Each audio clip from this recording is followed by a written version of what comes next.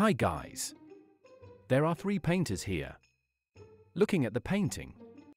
Can you guess who? Made it? Let me know in the comments. Your time is 5 seconds.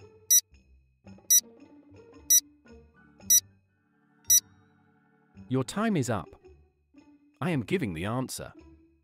If you look closely, the third person's color palette matches that of the artwork he made.